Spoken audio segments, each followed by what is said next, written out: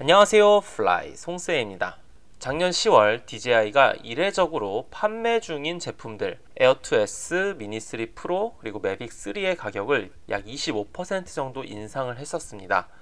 이 환율 그래프를 보시면 그 당시에 환율이 약 1440원 정도였던 걸 확인할 수 있습니다. 그래서 환율이 올라서 주요 제품들의 가격이 비싸졌구나 했었는데 그 뒤로 지금 환율이 쭉쭉 떨어졌었죠. 그래서 거의 1200원대로 정상 복귀 하나 싶더니 현재 3월달 다시 1300원을 넘어서고 있습니다. 그런데 바로 며칠 전 이렇게 올렸던 제품의 가격을 전부 원상 복귀시켰습니다.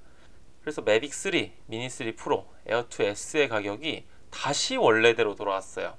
자 이번 영상은 현재 가격을 반영해서 가격대별 DJI 드론들을 좀 정리를 해드리려 합니다. 뭐 신제품을 사시려는 분들 아니면 드론에 관심 있는 분들이 아 이 가격대에는 이런 드론을 살 수 있구나 뭐이 정도 좀 참고를 하셨으면 좋겠다는 생각에서 준비를 해봤습니다. 바로 시작할게요. 자 먼저 이 표를 봐주시면요 말 그대로 가격대별로만 일단은 정렬을 해봤습니다. 어, 2.7K 30프레임 영상을 촬영한 미니2 SE가 44만 9천원이고요. 4K 30프레임 촬영 가능한 미니2가 54만 9천원입니다. 그런데 현재 미니2는 이제 단종의 수순을 밟고 있어서요. DJI 공홈에서 미니2는 재고가 없다고 뜨는데 신기한 게 이제 미니2 Fly More Combo가 재고가 있다고 떠서 일단 넣어봤습니다. 요거는 확인을 해봐야겠죠? 그 다음 미니3 어, 이제 4K HDR 촬영이 가능하고 DJI RC랑 호환이 가능한 미니 3 RC N1 조종기 버전이 56만 6,900원 DJI RC 조종기 버전이 76만 6,900원입니다. 자, 그 다음 4K 60프레임이 촬영이 가능하고요. 4K HDR 영상 촬영. 그리고 미니 라인업에서는 최초로 장애물 센서가 들어가 있는 드론이에요. 그래서 이 장애물 센서 덕분에 뭐 Focus Track이나 Active Track, 뭐 Spotlight, POI, MasterShots 등등등의 촬영이 가능한 미니3 프로가 RC N1 버전이 93만원, DJI RC 버전이 113만원입니다. 자, 그 다음은 센서가 커졌어요. 1인치 센서를 탑재하고 5.4K 동영상 촬영이 가능하고 4방향 장애물 감지가 되는 에어2S가 107만 8천원입니다. 오, 그런데 여기서 보면요. 미니3 프로보다 에어2S가 더 저렴합니다. 자, 다음 매빅3 클래식입니다. 4분의 3인치 하셀블라드 센서를 탑재했고요. 5.1K 50프레임까지 촬영이 가능한 매빅3 클래식이 189만원 그리고 4분의 3인치 포서드 핫셀블라드 센서에 망원 렌즈를 탑재한 매빅 3가 242만원부터 판매가 되고 있습니다. 그리고 DJI RC 조종기를 좀 소개를 해드리면 미니 3, 미니 3 프로, 매빅 에어 2S 그리고 매빅 3와 호환이 되는 이 DJI RC가 32만 9천원에 단품이 판매가 되고 있습니다. 자 여기서 앞에 미니가 붙어있는 미니2 SE, 미니2, 미니3, 미니3 프로는 250g보다 무게가 작은 드론으로서 4종 온라인 자격증을 취득할 필요 없이 날릴 수가 있는 드론들이에요.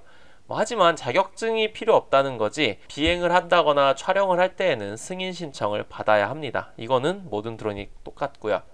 대신에 250g 미만이라는 이 부분은 해외여행 갈 때 좀 메리트가 있어요.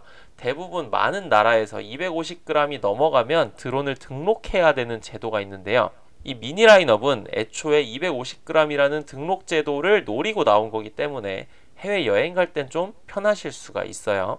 어 그러면 미니랑 에어랑 그냥 매빅이랑 뭐가 달라요? 이렇게 많이들 물어보실 수 있는데요. 가장 큰 차이점은 이제 무게예요, 무게.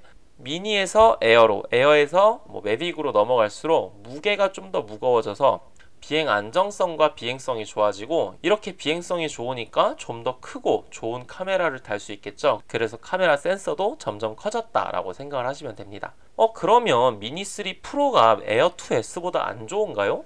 이건 좀 단정 지을 수가 없을 것 같아요. 뭐 자동차 우리가 제일 잘 아는 뭐 현대 자동차로 치면은 아반떼, 소나타, 그랜저 이렇게 비교를 할 수 있을 것 같은데 아반떼랑 소나타랑 뭐가 더 좋아 이렇게 따졌을 때 뭐 당연히 아반떼보단 소나타가 좋고 소나타보단 그랜저가 좋잖아요. 그런데 이제 연식을 따지고 옵션을 따졌을 때는 뭐 아반떼 프롭이랑 소나타 깡통이랑 놓고 보면은 아반떼 프롭이 좀 더 좋을 수도 있단 말이에요.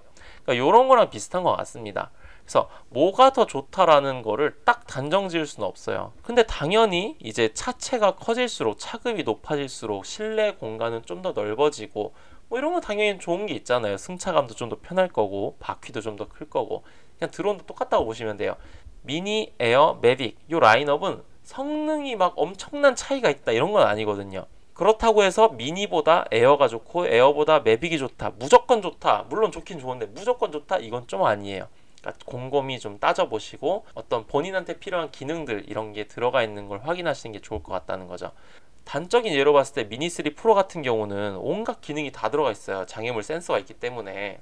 그러면 해외여행을 간다 치면은 미니3 프로랑 매빅3랑 구입을 하실 때 당연히 매빅3가 더 좋은 거긴 하지만 등록의 의무도 없어지고 가볍고 그럼에도 불구하고 기능은 다 있는 미니3 프로가 좀 더 좋은 드론일 수 있다는 거죠. 그러니까 이런 걸 조금 참고를 해주시면 되겠다 정도로 일단은 정리를 했고요. 오늘 영상은 하락된 드론의 가격들을 적용해서 DJI 드론 라인업을 간단하게 정리하고 소개를 해드렸는데요.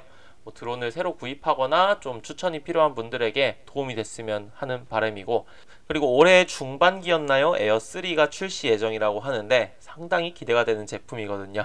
이 에어3의 새로운 소식이 들려오는 대로 저도 또 영상 업로드 하겠습니다. 그리고 제가 또 지금 소개해드려야 되는 드론들이 꽤 쌓여 있어요. 좀 다양한 드론들이 지금 밀려 있어가지고 지금 아바타도 날려야 되고 드론 리뷰도 해야 되고 아 바빠 죽겠네요.